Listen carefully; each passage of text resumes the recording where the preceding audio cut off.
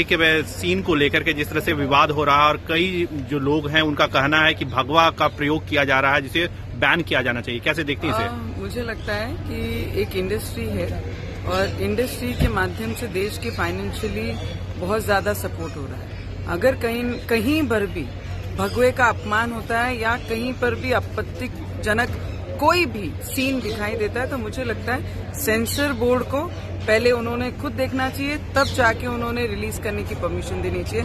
अगर कहीं पर भी हमारे देश के लोगों की आस्थाओं को ठेस पहुँचती है तो वो चीज़ स्क्रीन पे नहीं आनी चाहिए।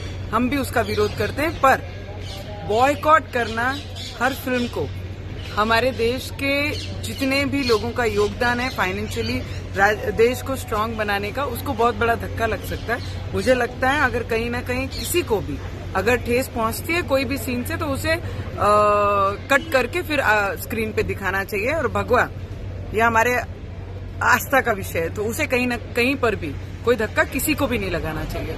मैम इशारों इशारों में अमिताभ बच्चन जी ने भी कहा कि अभिव्यक्ति की स्वतंत्रता पे प्रश्न फिर से उठने लगा। मुझे लगता है स्वतंत्र तो हमारे देश को, ये सबसे इंडिपेंडेंट देश एक ही कहलाया जाता है पूरा ग्लोबली वो हिंदुस्तान है।